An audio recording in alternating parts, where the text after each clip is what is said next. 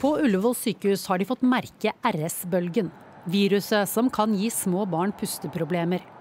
Barnesykepleierforbundet forteller om en kritisk bemanningssituasjon ved flere barneavdelinger som følge av virusbølgen. Jeg kan bare referere til SMS-er og Messenger-meldinger og mail som jeg får. Og da vil jeg si at eh, de sier Kirsti, nå er det skikkelig kritisk. Det er alvorlig tilstand der ute.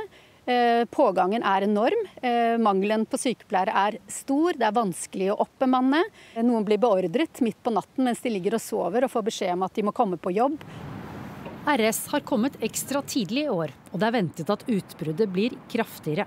Fordi langt færre ble smittet under pandemien.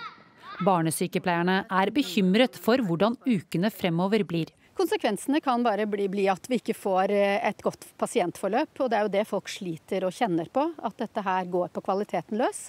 22 barn var innlagt med RS på Oslo universitetssykehus i dag. Ledelsen mener de har nok folk på jobb. Det vi har gjort den siste en og en halv uken, det er at vi har økt bemanningen både på sykepleiersiden og på legesiden. Sånn at inne, De som ligger på sengeposter her nå, eh, der går det ekstra vaktlag for leger. Og så er det tatt inn ekstravakter for sykepleierne.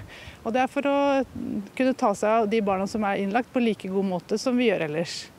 Barnesykepleierforbundet sier uttalelsen fra OUS ikke samsvarer med informasjon de får fra sine medlemmer som etterlyser sykepleiere med kompetanse på barn.